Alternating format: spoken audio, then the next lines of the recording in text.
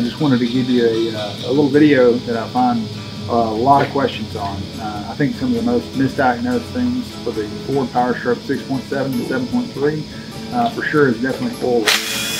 So with that being said, we've got a couple of 6.7 PowerStrokes on the stand right now and wanted to show you why the front cover is the most misdiagnosed uh, leak on the PowerStroke engine. Uh, a lot of times turbo pedestal, uh, the turbo pedestal is kind of an integrated system. It's a little bit different uh, than predecessors, predecessors or, or, years gone by. Uh, the way that the turbocharger sits in the valley is a little bit unique with coolant running in it. Uh, but they have drilled a hole in the front of the engine for the 6.7. Many times it's misdiagnosed as the front cover that's actually leaking when, when really what's happening is you've got oil leak in the valley of the motor and it's draining down. Come on in I'll show you what we've got here. So if you look at this hole in the valley, there's a nice pocket right behind your CP4 pump where your fuel pump would be.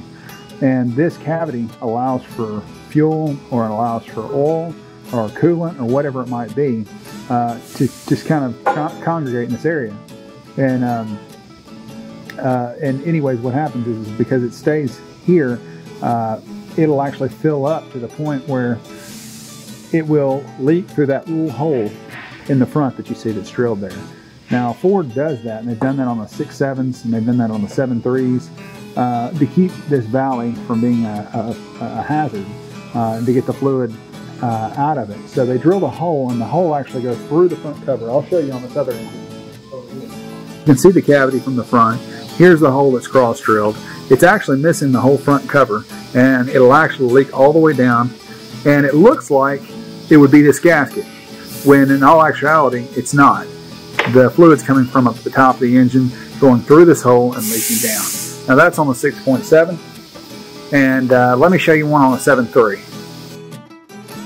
Okay, so now we're looking at, this is the front of the 7.3 block, of course this is the rear.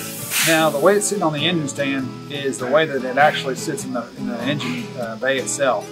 Uh, most of the time what happens is, is uh, it's nose high on, on the installation. That's typically the way the engine's mounted. So anything that would be trapped here uh, tends to obviously run backwards. Now you can see International put a hole right in the back of the block. Now that's great because that causes more trucks to be misdiagnosed for rear main seal that's actually leaking because it's really tricky. If you look at it, the hole goes in here and then it trails down, but keep in mind the bell housing's on the outside and bolted in this area here. So the guy really can't see the rear main seal leaking because the transmission's in the way. They always misdiagnose this and almost never do I ever see any power stroke engine with a rear main seal leak. It's very, very rare that you ever see 6.4, 6 liter, 7.3, 6.7. They just don't leak. They've got a really good design. However, they're always misdiagnosed on the 7.3.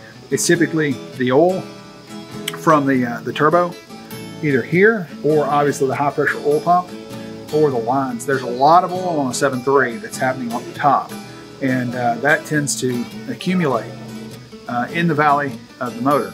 And um, anyways, when that happens, again, it just runs downhill and it creates a, uh, a leak that's not, not actually there. It makes it's kind of a, uh, an illusion. And uh, so anyways, those are some things to keep in mind if you've got a leak on your 6.7 or your